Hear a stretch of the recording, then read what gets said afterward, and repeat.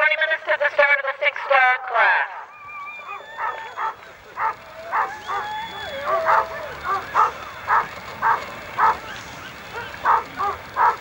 Thank you to our sled holder, Don, standing there for